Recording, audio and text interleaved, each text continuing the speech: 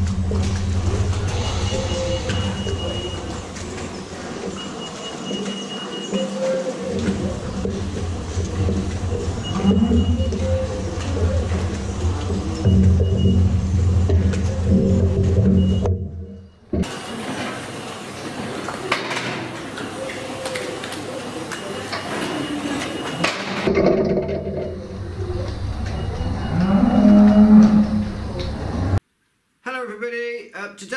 to do a little video um, going through the processes of artificial insemination on a dairy cow.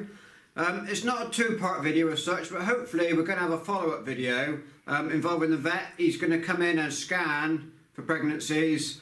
Um, hopefully that's going to be a video coming up later on. Um, but today we're going to cover um, how we actually artificially inseminate the cows. So you've already seen we've picked the cow out. She's come for the shedding gate, so the gate is, gate has read a tag she's got on her ear. Um, it's picked her out, the, the gate is swung across, she's coming to the holding pen. So now we're going to prepare the straw um, and then we're going to go and serve her in a minute. Right, so this is an AI flask that we use. Um, inside of here, hopefully you can see that, that's, can you see that? Mm. It, this is full of liquid nitrogen in here, um, which maintains a temperature that is uh, it's really quite chilly.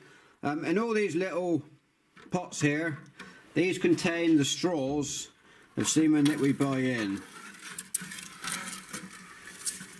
So what you can see, there's nothing in this one, um, but you can see it's, it's, a, it's a round container. So you can see they come in these little plastic tubes, um, and they've got a label in them, so we know what's what. Um, full name on there, uh, and, and uh, batch numbers and stuff, but these two are empty.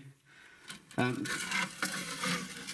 but lower and down, down in the bottom of there, as long as, as long as these goblets are covered with the nitrogen, um, they will last indefinitely um, years and years and years. So what we do, we, we've got a contract with a company that maintains the level of nitrogen in this. They come in and top it up. I mean, it is forever boiling away. You can just see, hopefully you can see, um, that, that vapour coming out because that nitrogen wants to be a gas. Um, but we want it to stay as a liquid and that's, and that's when it keeps the stuff cold. Um, but all we've got in the stock at the minute is Belgian blue, or British blue they call it nowadays. And this is in the blue one, obviously, where else would it be? So there, you can see the straws in there. I won't take out because we don't want them to thaw out. Um, but that's what we're going to be using today. Um, so we'll go through the process of, of thawing one out, um, and then we'll go and put it in the cow. Right, so the temperature of the thawing water is pretty critical. Um, so we got this little indicator that will change colour uh, if it's right. So first of all we just stir the water up a little bit to get it uniform temperature. Uh, drop the temperature sensor in for a few seconds.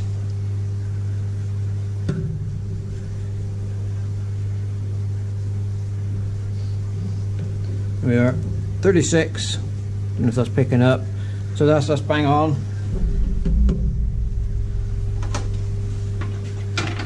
pull our stripe.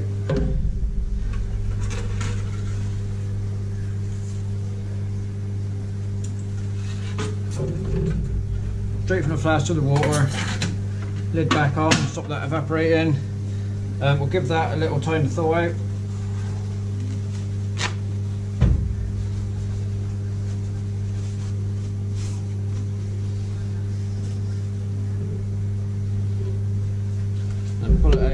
draw it right off.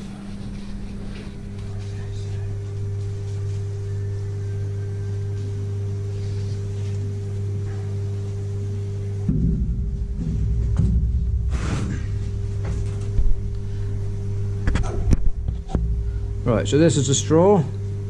It's got all the details on there. It's got the AI code, bull name, all sorts of numbers I don't understand, lot numbers, batch numbers. It's very small writing. I'm not sure if you can pick it up or not. Probably can't focus on that, it is tiny. Right, so we'll uh, take the gun, just warm the gun slightly, just a bit of, rub your hand up, grip it tight and pull your hand up, that warms the gun.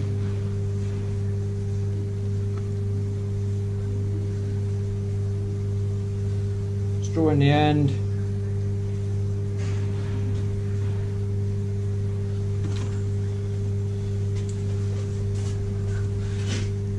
as you can see, it doesn't the semen doesn't go right to the end. We get a little bit, a little bit to cut off. So we'll nip that off.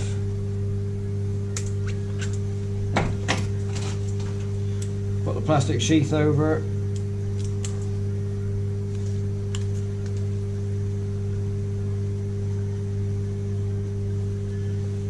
Put the paper towel on, keep it warm, keep the chill off of it.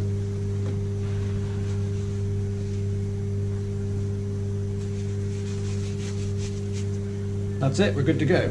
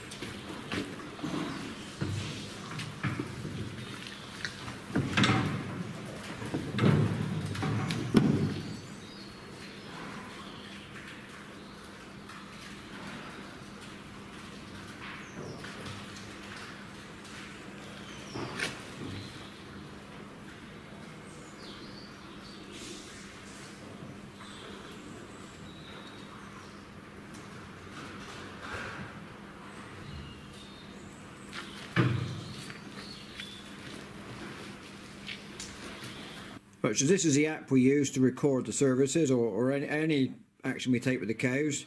Um, it's the Uniform app. It's run by uh, NMR, but I think other companies use it as well. So what we do, so that was cow 63.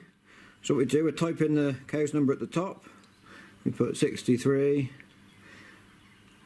So then this brings up the page specific to this cow. So it tells us her date of birth, uh, her age, uh, four years, um, what group she's in, we only have one group, just milking group. Um, status is open. Um, so you can see her last calf, 8th of December 2018, and that was her third calf, and that's 52 days ago. Um, last heat was the 9th of January, um, and that's 20 days ago. So the uh, the reason we don't serve, there's, there's a waiting period we take of around 40, 42 days. Um, so 20 days ago, she was too early to serve. So we put her down as a heat um, and she's come bulling 20 days later. So a cow's cycle is sort of 18 to 22 days-ish, 19 to 22 days. Um, so we're bang on that. It's normally it's normally 21, but there's a bit of a range. So so this page, we what we can take from this page, press that bit up there, and there's all sorts of details that this holds for the cow. Um, there's two previous calves there and the date. Um, we can go what her, her, lactation history of what she's done, um, butter, fat, and protein, and total yield, yield totals there. Um, we can do the last uh, last milk recording we did 15th of January. So she gave 26.4 litres of milk. 3.64 fat is a little bit low, we'd like it to be higher. Uh, 3.12 protein and a cell count of 64. Um, what else do we have there? Milk meter? No, nothing under that one.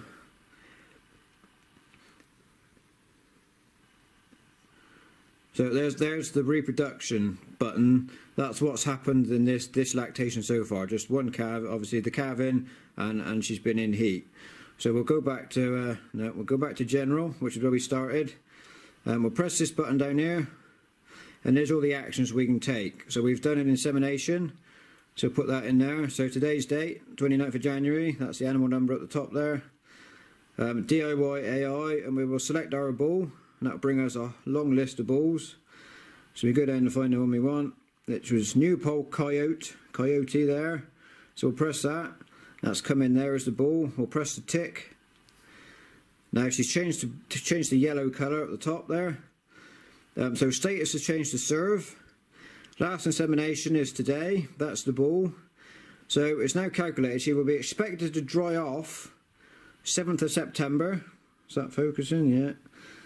Um, with an expected calving date of the 2nd of November 2019 and an expected calving interval of 329 days. So assuming she holds to that service, um, the, the, aim is to, for a calf once a year, so that's a 365 days. So if she holds to this service, she will calve less than a year since she last calved. So we'll, we'll uh, hopefully 21 days she could come bulling again. Hopefully she'll hold to this service and then we can scan them in around 32 days the vet comes in with an ultrasound scanner um, and, and then we'll know. If she hasn't come bulling we'll, we'll shut her up uh, and, and she will see the vet and then we will know if she's pregnant or not. So on the on the phone you just seen that's how we record stuff now. Um, this is how we used to do it. Uh, this is called a, a Bray calendar. Uh, I assume it's made by or designed by Mr Bray. I'm not sure why it's called a Bray um, but what it is, all these, this is made of metal, the whole, the square bit's made of metal, and every cow gets a magnet. If You can pick that up, that's number 63, we've just, is it focus? Can't focus on that. That's number 63. Okay, so that's the cow we've just done. So every cow has a magnet, um, and every side of this magnet is a different colour. So you can see the colours on here. Um, so when they're, a cow is freshly calved, you turn her to a white put the white side out. Um, when you see her bulling, but you don't serve her, you turn her to green. So we'll put the green side out. Um, when you AIM, what we've done today, we go to orange. Um, when the vet comes and PDs them, confirmed in calf, we turn to purple. Um, and you dry them off, they go yellow. So you can see various colours. This is all out of date now, I don't use this, but we're just showing you what it used to be like. So today's date it's the 29th of January, so that's up in the top corner there. So what we would, today, this cow today, we would, she would have been, we did see her bulling, so she would have been green. Today we've served her, so we're going to turn our pointer to the 29th of January. We've got her on orange, and we're going to put her under this service hand here. Okay, so we'll slide her there. Now every day this ticks round one, so all the dates around the edge, so this ticks round one, one, uh, one section a day. And as you can see, the cow stays still, but all the pointers move around as we go. And when we get to here, this is sort of 40 days time, when they when anything after this arm can then be seen by the vet. Okay, so then because we've done it right, everything, obviously, uh, she's going to turn to purple now, so she will be in calf. Um, and that will give us a calving date of November. Um, and then we will come round, the days will tick by, and they'll fall off. So days will tick by until this drying off arrow, that's coming round now. So we will dry her off. Today's date, point would be the 1st of September, so we would dry this cow off then. Um, and then we would go around and she would calve obviously she's going to calve bang on time. So what we would do then we would turn her to, to white because she's calved again. And then what we would go on if she was to come bulling once she's calved if she if she, if she was coming bulling today on the say what's that the 5th of, 5th of December we would pick her off we would turn her to the green and we would move her anti-clockwise, put her under that green, that green arm. Okay, so then we would go on again, and she should come bulling again. Oh, that's 21 days there. She should come bulling again. If say she comes bulling, if she misses a cycle, say, and she comes, she settles down to a regular cycle, she comes bulling here. We could serve her, say, that's the 4th of January up there. So we would then turn around to orange again. Oh, there's another one on the floor and we would put her there, she would do another cycle. And every cow's got a block, so that this is this is kind of our calving pattern here. Um, so that hasn't changed a lot. Um, and then there's a few in the spring, and we get a gap here. There's no there's no calvings here at all. So we get so we have a have a break. Um, so that's how we used to do it. Um, it's very very reliable till the things fall off on the floor. Then then it, then it all goes to pot. Um, but it doesn't break down. Um, the convenience of having it on the on the phone is if the vet's here, probably you'll see that when in, in the PD video. Um, we sometimes check dates. Um, it's easy to just just get the phone out, call them up rather than having to run back in here uh, and, and, check this. So modern is, is better, but um, this, this lasted us well for many years. Uh, and this is actually the second one we had because the first one, I think it's a, this is the second one, yeah, because the first one went a bit too rusty. Uh, and when it goes rusty, you can see it's going a little bit here. Um, the blocks don't stick very well on the rusty bits. So, um, so that, that's a Bray calendar. Still very useful, but we don't use it anymore. So that'll be the end of this little video. Um, please come back next time when we will uh, get the vet in and he will bring a scanner um, and he will do ultrasound scanning of PD in and hopefully we'll see number 63 and we'll see her in calves. So thank you very much for watching and we'll see you next time.